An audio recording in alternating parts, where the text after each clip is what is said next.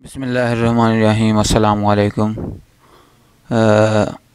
बस जैसा कि आपको पता है कि मैं कुछ दिनों से बिज़ी था और बहुत मसरूफियत की वजह से मैं आपको टाइम नहीं दे सका।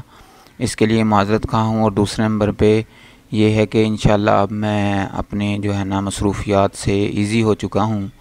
तो इन आपको बर वक्त तमाम मालूम भी मिलेंगी और हर तरह के जो क्वेश्चन आप करते हैं उनकी जो आंसर हैं वो भी इन मैं वक्त पर देने की कोशिश करूँगा। तो आज की इस वीडियो में हम जो इश्यूज़ आ रहे हैं उसमें से जो एक इशू है जैसा कि आपको पता है कि रिज़ल्ट जो एम का रिज़ल्ट है और इस तरह कुछ और भी स्टूडेंट हैं जिनका रिज़ल्ट जो है ना वो कुछ इस तरह से आ, सामने आ रहा है आ रहा लिखा आ रहा है।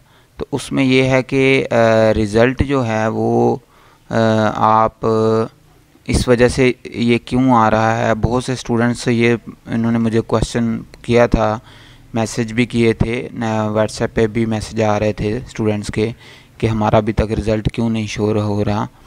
तो उसकी सिर्फ़, कुछ वजूहत तो यूनिवर्सिटी है।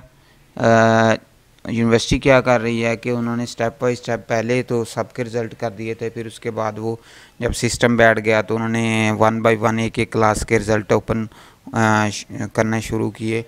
और अभी भी कुछ सी एम एस पे वर्क चल रहा है तो जो रिज़ल्ट है, वो किसी दिन भी यूनिवर्सिटी अनाउंस कर सकती है। तो इसलिए आपने बिल्कुल परेशान नहीं होना। आर एल का मतलब रिज़ल्ट लेट होता है। कुछ स्टूडेंट पूछ रहे थे कि आर एल का मतलब क्या है? हमें ये फेल तो नहीं हो गए हम कहीं। तो यही मतलब है इसका कि रिज़ल्ट लेट है।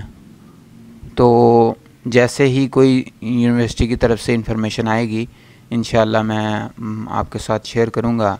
और किसी किस्म का अगर कोई क्वेश्चन है तो आप कमेंट सेक्शन में पूछ सकते हैं। अपना बहुत सा ख्याल रखेगा अल्लाह हाफिज़।